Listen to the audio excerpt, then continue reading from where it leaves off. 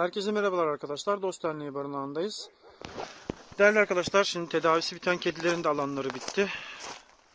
Buralar çiçeklendirilecek. Yakın bir zamanda buralara toprak dökeceğiz.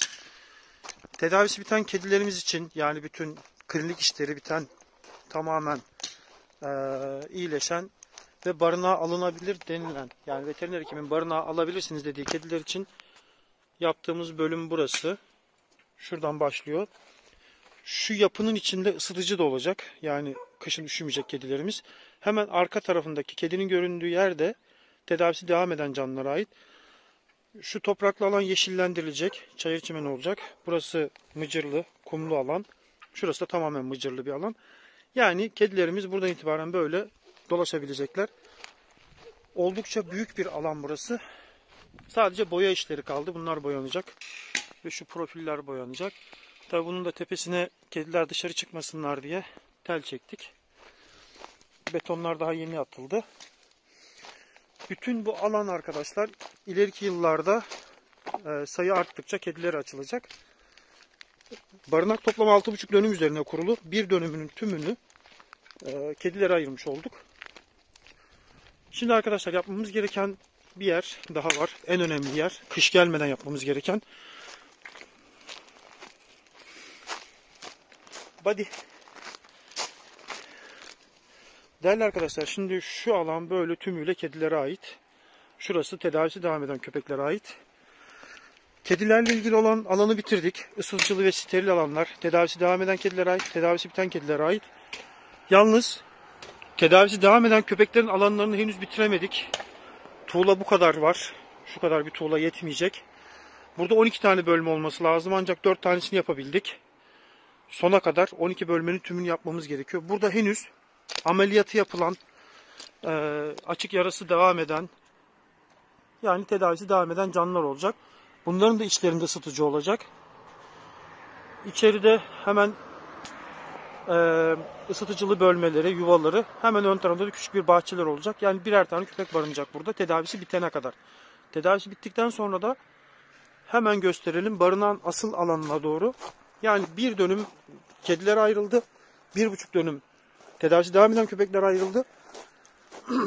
Geri kalan tümüyle tüm alan, tüm barınak alanı ise tedavisi biten canlılara ait, köpeklere ait yani. Evet burada tedavi yapılan üç bacaklı canlılar, tek gözü olmayanlar hepsi buralarda. Ve bunlar küçük küçük kafeslerde değil arkadaşlar. İçeride.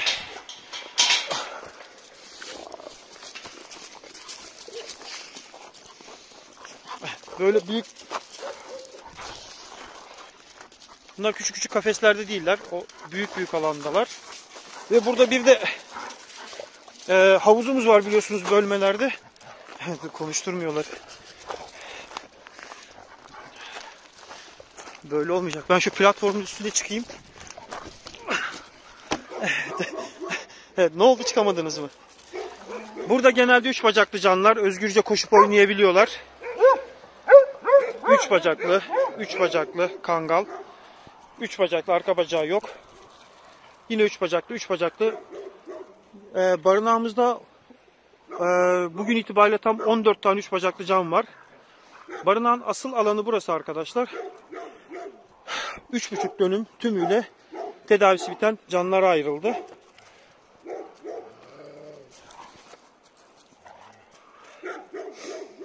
Evet en güzeli de bu. Özgürce koşup oynayabiliyorlar. Burası 1500 metrekare, 600, 400 o şekilde devam ediyor arkadaşlar. 100, 100, 100. Karşıdaki küçük bölmelerde de henüz rehabilitasyonu bitmeyen hayvanlar var. Yani rehabilitasyonu devam eden canlılar var. Ee, evet bu seneki diktiğimiz ağaçların tabi yaprakları döküldü. 10 tane çınar ağacı. Bu tarafa da ağaç dikeceğiz. Ancak inşaat işinden bir türlü hani bu işlere fırsat e, bulamadık. Değerli arkadaşlar şimdi şu duvarın arka tarafı tedavisi devam eden köpeklere ait. Şu duvarın arka tarafı tedavisi devam eden ve tedavisi biten pardon kedilere ait. Şöyle yaklaştırayım şu duvarın.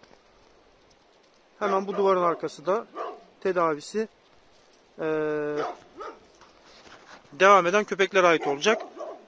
Arka taraf çok çok önemli bizim için. Çünkü burada henüz rehabilitasyonu devam eden e, köpekler olacağı için oranın ısıtıcı sistemi de yapılacak.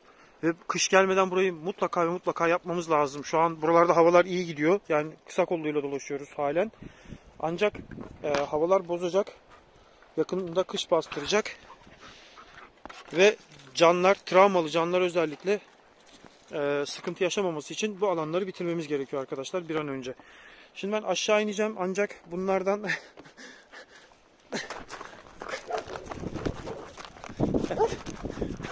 Pamuk Gel, gel, gel, gel.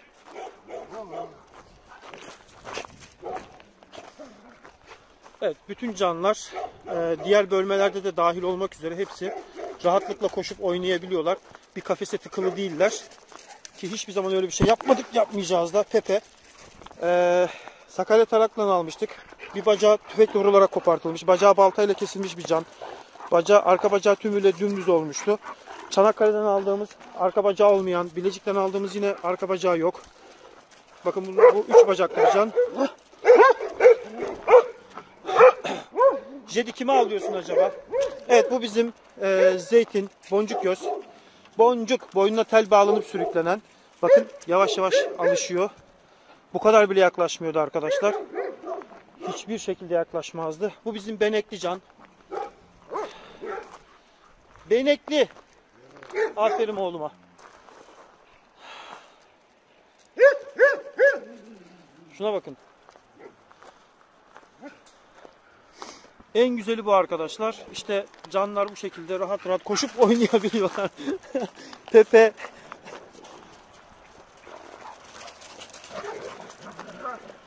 Hiçbirisi kafeslerde değil ve hiçbir zamana kafeslerde olmayacaklar. Badem gel oğlum. Gel oğlum Badem gel. Buradakilerin hepsi e, birbiriyle anlaşabilen köpekler. Aynı şekilde diğer bölmelerde de eğer ki anlaşamayan olursa onları tek tek böyle bütün bölmelerde deniyoruz. Mutlaka anlaşabildiği bir can çıkıyor. Yani hiçbirisi e, hem özgürlüklerinden hem de sıkıntı yaşayacağı canlarla birlikte kalmak zorunda kalmıyorlar. Hem de özgürlüklerinden olmuyorlar. Bunlar sokak canı hepsi. Özgürlüklerine düşkün canlar. Bir hani tedaviden sonra da bir hapis hayatı yaşamıyor hiçbirisi. Aha, aha balina. Evet. Bu bizim Pars. Diğer adı uçan köpek. Uçuyor bildiğiniz yani bütün köpeklerin üzerinden uçarak geçiyor arkadaşlar. Oyun kurucu kendisi. Asıl oyuncu bu. Bu dost. Şimdi diğer bölmelere geçelim.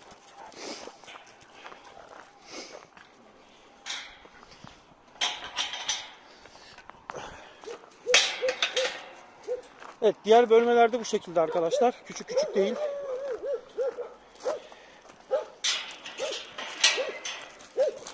Evet hepsi böyle zıplıyor bizi görünce heyecandan.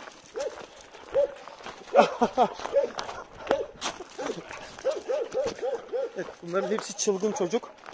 Burada da aynı şekilde bölmeler küçük küçük değil oldukça büyük alanlar. Ya şunu yaptıklarını bir görebilseniz.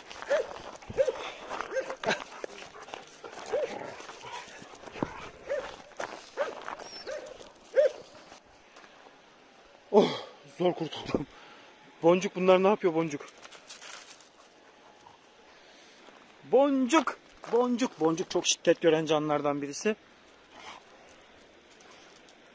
Evet. Aynı şekilde buradaki canlılar da arkadaşlar hiçbir şekilde bir, tıkılı bir kafeste değiller. Hiçbir zaman da olmayacaklar. Ağaçlarımız tabi seneye daha güzel açacak. Daha güzel büyüyecek. Hem gölgelik alan oluşacak hem de yeşil alan. Zamanla yapmaya çalışıyoruz. Evet diğer canlılar da aynı şekilde. Rehabilitasyonu devam edenler var. Ee, kanserli canlılar var. Tedavisi devam eden şu an.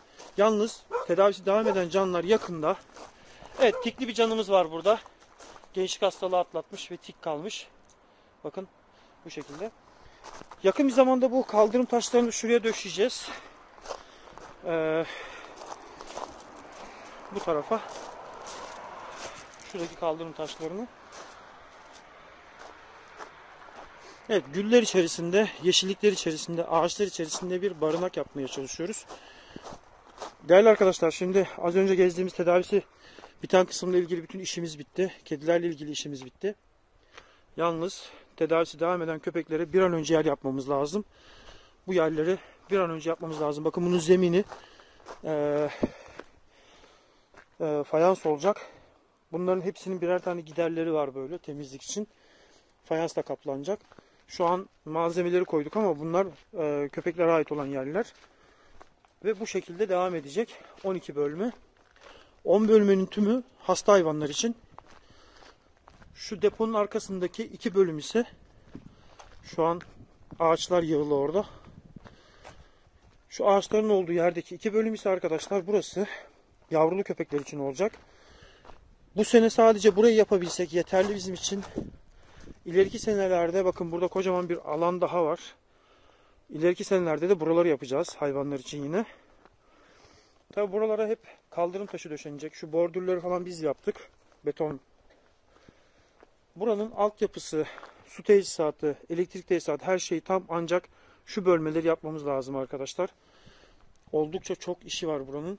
Ve yaklaşık toplam maliyet yani şu 12 bölmenin tümü nereden baksanız 20 bin liraya mal oluyor arkadaşlar. Maalesef 20 bin liraya kadar çıkabiliyor. Isıtıcısı dahil. Ama biz şu dördünü yapabilsek yeter arkadaşlar. Şimdi değerli arkadaşlar bir de burada park alanı var. Yani çocuklar geldiğinde e, burada e, eğlenebilecekler. Beton dökülecek buraya. Şurada küçük bir çardak alanı var. Şu çeşmeyi bir jandarma komutanımız yaptırmıştı. Evet. Buraya gelen ziyaretçiler kullansınlar diye. Ve ileriki senelerde bu konteyner kaldırılıp yerine şu kısma şöyle bir yapı yapılacak. Tedavi odası gibi, veteriner hekim odası gibi odalar yapılacak. Herkesi ziyarete bekliyoruz. Çok ferah ve hayvanların rahatça, özgürce koşup oynayabilecekleri bir barınak. Yapılanları görmeniz için mutlaka mutlaka ziyarete bekliyoruz arkadaşlar. Kapımız herkese açık biliyorsunuz. Ziyaret ederseniz de onur duyarız. Seneye daha güzel güllerimiz olacak. Ve bir gül sırası da şurada var. Herkese iyi akşamlar dilerim arkadaşlar.